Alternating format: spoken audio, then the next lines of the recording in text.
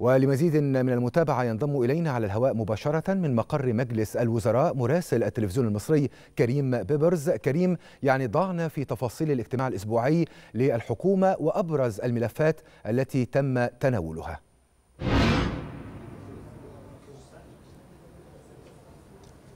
نعم الدكتور مصطفى مدبولي رئيس مجلس الوزراء بدأ اليوم جولة خاصة بدأ بافتتاح معرض أهل المدارس وهو المعرض الذي يعمل على التخفيف عن عن كاهل المواطن المصري بتوفير كافة الأدوات المدرسية قبل موسم المدارس المقبل. بإذن الله هذا المعرض الذي يضم جميع الأدوات المدرسية من أقلام وكراسات وملابس أيضا خاصة بالمدارس وشنط مدرسية وغيرها. بدأت هذه الجولة صباحا صباحا ثم انتقل بعد ذلك الدكتور مصطفى مدبولي للدورة الرابعة للنسخة الثامنة للاتحاد الإفريقي. وهذه الدورة التي تعتمد في الأساس على التنمية الحضرية واللامركزية الخاصة بالحكومات المحلية. وكان له كلمة خاصة خلال هذه الدورة نيابة عن الرئيس عبد الفتاح السيسي. وتحدث الدكتور مصطفى مدبولي عن أهمية التنمية المستدامة في هذا المجال خصيصا لتحقيق أجندة التنمية المستدامة أفريقيا 2063 وأيضا تفقد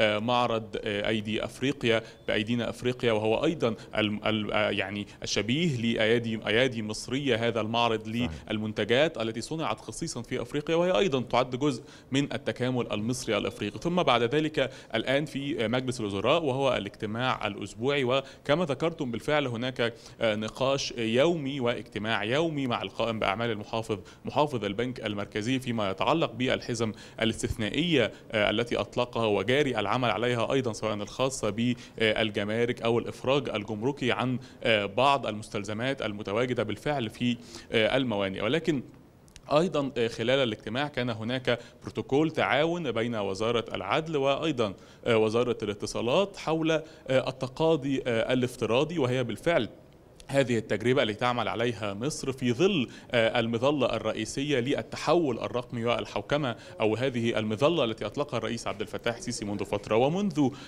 يعني شهر تقريبا كانت هناك تجربة مبدئية لهذا التقاضي الافتراضي كنوع من أنواع التجارب التي على أساسها تم إطلاق هذه المبادرة وهذا بروتوكول التعاون الذي تم توقيعه اليوم. أيضا بجانب كل هذا خلال الاجتماع تم تخصيص بعض القرارات الخاصة الخاصة بالأراضي مثل بعض الأراضي الخاصة في بني سويف لوضع بعض المشاريع المختلفة في بني سويف. وأيضا كما ذكرتم كان هناك نقاش بشكل عام حول الحزم الاستثنائية والإجراءات المختلفة للتخفيف عن كاهل المواطنين بشكل عام سواء كانت عن طريق مبادرة حياة كريمة أو حتى عن طريق الاتفاقات المختلفة مع يعني المنظمات الدعم الأهلي والمنظمات الأهلية التي تعمل أيضا بالتعاون مع الحكومة على التخفيف عن كاهل المواطنين ربما هذه كانت النقاط الأهم خلال الاجتماع الأسبوعي لمجلس الوزراء. كريم بيبرز مراسل التلفزيون المصري كنت معنا من مقر مجلس الوزراء شكرا جزيلا على كل هذه التفاصيل.